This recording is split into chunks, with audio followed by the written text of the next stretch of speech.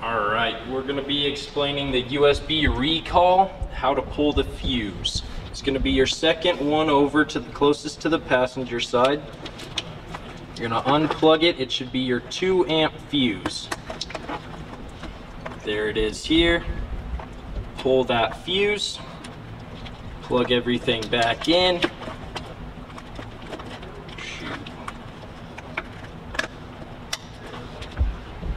There you are.